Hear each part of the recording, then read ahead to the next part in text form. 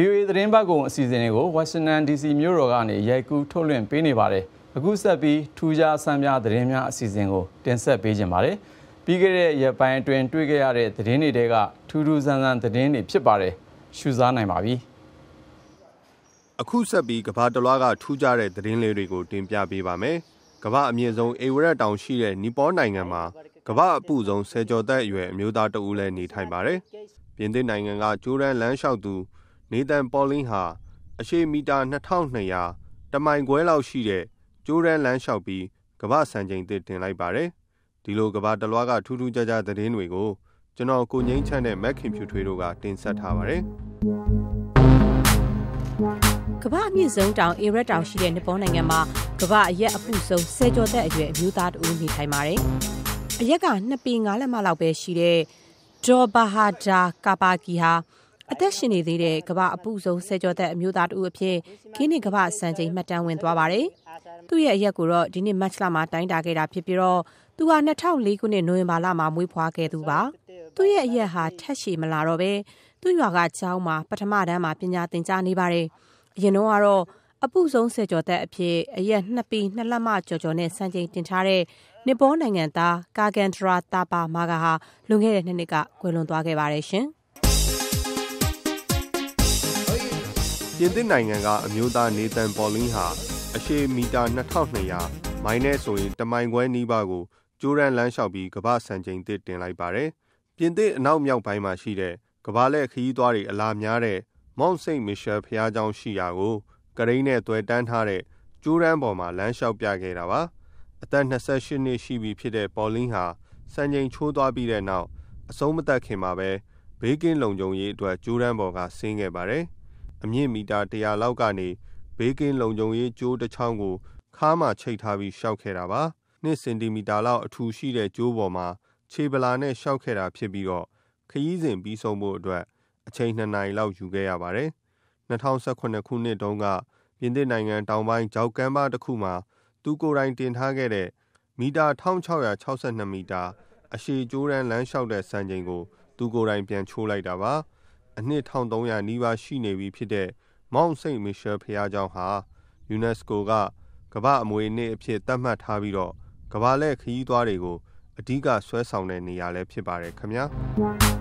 အရေးပေါ်ကယ်ဆယ်ရေးတွေမှာရှေးဦးသူနာပြုစုဖို့ဗြိတိန်နိုင်ငံမှာမိုးပြန်ဝစ်စုံတစ်ခုကိုစမ်းသပ်ပြန်တန်းခဲ့ပါတယ် Gravity Industries ကုမ္ပဏီကထုတ်လုပ်တဲ့ဒီမိုးပြန်ဂျက်ဝစ်စုံကို 3D printer နဲ့ထုတ်လုပ်ထားတာဖြစ်ပြီးတော့ကြောဘက်မှာ ဂျက်အင်ဂျင်တစ်လုံးနဲ့လက်နှစ်ဖက်အတွက်ဂျက်အင်ဂျင်အသေးနှလုံးတပ်ဆင်ထားပါတယ်။အမြန်နှုန်းတနာရီမိုင်80အထိပြန်တန်းနိုင်ပြီးတော့အမြင့်ပေ12000အထိနီးပညာအရပြန်နိုင်ပါတယ်။ဒါပေမဲ့လည်းအခုစမ်းသပ်မှုမှာတော့ဘေးကင်းလုံခြုံဖို့အတွက်ခဏနေကပဲပြန်တန်းခဲ့တာပါ။အရေးပေါ်ကယ်ဆယ်ရေးအတွက်ရဟတ်ရင်နဲ့စေဝန်ထမ်းတွေကိုတည်ယူပြန်တန်းရမယ်ဇရိတ်နဲ့နှိုင်းရှင်မယ်ဆိုရင်အခုလိုမိုးပြန်ချက်ကဇရိတ်တက်တာပြီးမြန်ဆန်တယ်လို့ဒီချက်ကိုတီထွင်ခဲ့တဲ့ Richard Browning ကပြောပါတယ်။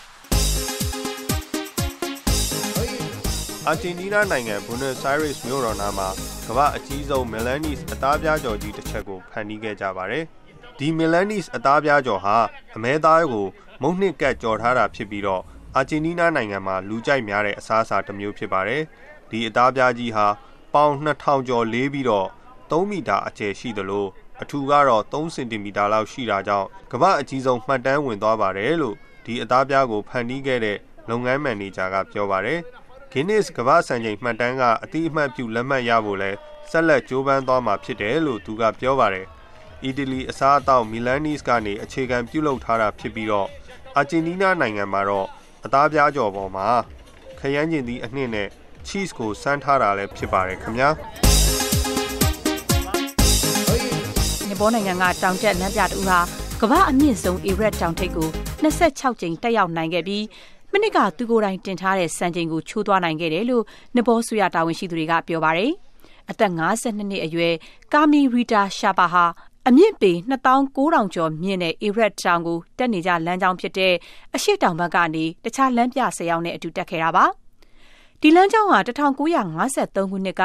ပထမဦးဆုံးတောင်ထိပ်ကိုတက်ရောက်နိုင်ခဲ့သူနယူးဇီလန်နိုင်ငံသားဆာအက်ဒမွတ်ဟယ်လရီနဲ့ တန်ဇင်းနော်ဂေးတို့သုံးခဲ့တဲ့လမ်းကြောင်းဖြစ်ပြီးတော့ဒီကနေ့အထိလူအများသုံးတဲ့လမ်းကြောင်းလည်းဖြစ်ပါတယ်။မနစ်တုန်းကတော့နေပေါ်အစိုးရကတောင်တက်ခွင့်ပါမစ်408ခုထုတ်ပေးခဲ့ပြီးဒီနှစ်မှာတော့316ခုထုတ်ပေးထားပါတယ်။နေပေါ်နိုင်ငံဟာနိုင်ငံသားငွေရဖို့အတွက်နိုင်ငံသားတောင်တက်ခီးသည်တွေကိုမိခိုနေရတာဖြစ်ပြီးလူတွေကြက်ညက်နေအောင်ပါမစ်တွေခွင့်ပြုတာနဲ့2019ခုနှစ်မှာတောင်တက်သမားအများအပြားသေဆုံးရတာတွေအတွက်လည်းဝေဖန်ခံနေရတာပါ။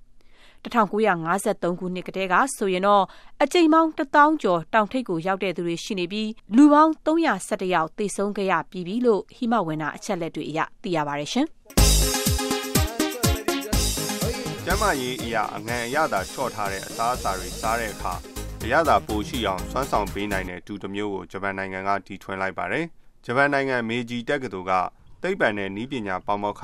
ဟိုမီမီယာရှီတာနဲ့ ဂျပန်နိုင်ငံကကီရင်အဖျော်ယမကာ ကုမ္ပဏီတို့ပူးပေါင်းပြီး အရသာကို ပိုပြီးကောင်းအောင် လုပ်ပေးနိုင်တဲ့ဒူကို စမ်းသပ်တီထွင်တာပါအစားအသောက်ထဲမှာပါတဲ့ ဆိုဒီယမ်အငံဓာတ်ကို လျှက်စစ်တပ်နဲ့လှုံ့ဆော်ပေးပြီး အရသာရှိအောင် လုပ်ပေးတာပါဒီတူကို အသုံးပြုသူအနေနဲ့လက်ကောက်ဝတ်မှာဘက်ထရီအားသုံးကွန်ပျူတာကိရိယာအသေးလေးတစ်ခုကိုဝတ်ဆင်ထားပြီးတော့အဲ့ဒီဆက်ကတူနဲ့ဆက်သွယ်ထားတာပါဒီအထူးတီထွင်ထားတဲ့တူကကျမ်းမာရေးအရာစားလျှော့ထည့်ထားတဲ့အစားအသောက်တွေကို 1.5စာအထိအငံတက်ကိုတိုးပေးပြီးတော့အရသာရှိအောင် လုပ်ပေးတယ်လို့ပမောက္ခမီယာရှိတာကပြောပါတယ်။ဂျပန်နိုင်ငံမှာအရွယ်ရောက်ပြီးသားသူတွေဟာစားတစ်နေ့ကို10ဂရမ်လောက်စားသုံးနေပြီးတော့ဒီစားသုံးမှုဟာ WHO ကမ္ဘာ့ကျန်းမာရေးဌာနကတားမြစ်ထားတဲ့ပမာဏထက်နှစ်ဆပိုများနေပါတယ်။ဒါကြောင့်လည်းအခုတီထွင်ထားတဲ့တူကအစားအသောက်ပုံစံပြောင်းလဲအောင်အထောက်အကူပြုမယ်လို့မျှော်လင့်ရပါတယ်ခင်ဗျာ။